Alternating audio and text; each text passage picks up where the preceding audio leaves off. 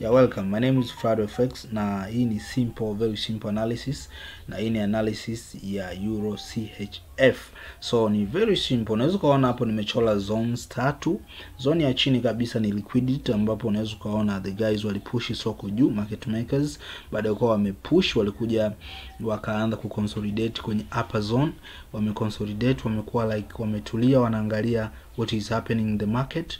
So these guys walikuwa wanaangalia what most of people are thinking na baadaye wakapushi juu soko likaja likatengeneza another top here so zikawa two tops. Lakini baadaye walipushi soko kwa nguvu.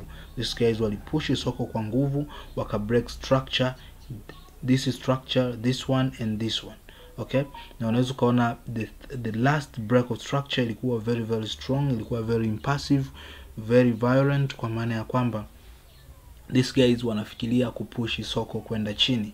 Lakini at this point siwezi nikasell. Why? Because i know nikisell hapo my stop loss yangu itakuwa very very up in here. Kwa sababu naamini this is the point ambapo walianza kupush the market downward. Unaweza ukaona kuna drop very strong drop in here. So what I'll be waiting ni hii structure ambayo nimekuonyesha.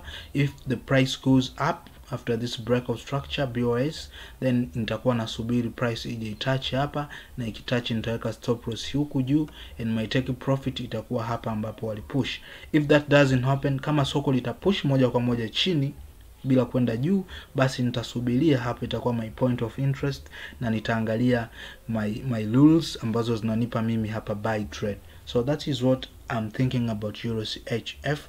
let's wait and see. Make sure you subscribe Thanks. Happy Valentine's Day.